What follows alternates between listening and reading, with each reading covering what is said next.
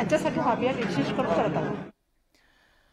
गेल्या अडीच वर्षांपासून आपण कोरोनाशी लढा देतोय पण आता भविष्यामध्ये कदाचित आपल्याला या सगळ्या वेगवेगळ्या व्हायरसशी मैत्री करावी लागेल किंवा त्याची सवय करून घ्यावी लागेल अशी परिस्थिती आहे. कारण आणखी एक व्हायरस आपल्या दारावर येऊन ठेपलेला आहे आणि त्यामुळे देशात कोरोनाचा धोका कायम असताना आता नव्या व्हायरसचा धोका वाढत चाललाय.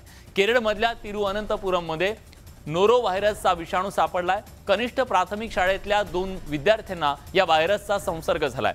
या विषाणूचा संसर्ग झाल्यानंतर उलट्या डायरिया आणि तापासारखी लक्षणं दिसून आली आहेत. नोरो व्हायरस या संसर्गजन्य व्हायरसमुळे अन्न पाणी आणि स्पर्शातून या विषाणूचा प्रादुर्भाव वेगाने होतोय.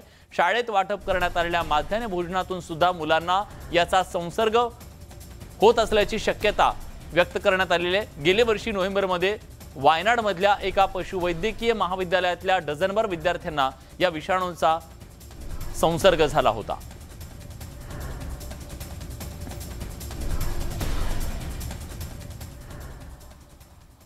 बॉलिवूडचा अभिनेता सलमान खान याला धमकी